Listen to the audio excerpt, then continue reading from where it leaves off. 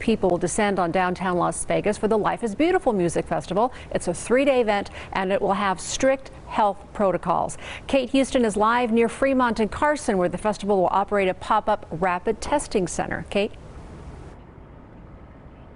Yes, well, for unvaccinated or partially vaccinated attendees, they will need a negative COVID 19 test before they can go in. They can come here tomorrow starting at 9 a.m. They can get a 15 minute rapid test at a discounted price. Attendees tell me these measures are added reassurance that they'll be safe this weekend.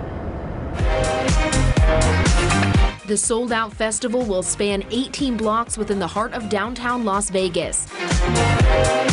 Attendees will need to show proof of full vaccination or a negative test.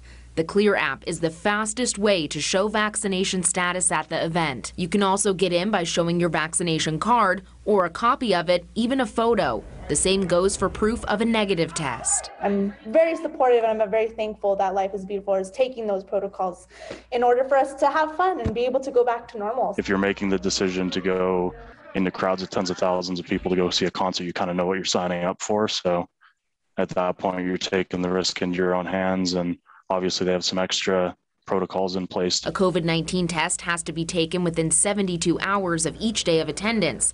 Three day ticket holders can get tested on or after Thursday for their negative result to cover all three festival days. At home tests are not accepted. Well, back out here live, you can book an appointment until 6 p.m. tonight, or you can just walk up to this white tent here behind me and get your 15 minute rapid test.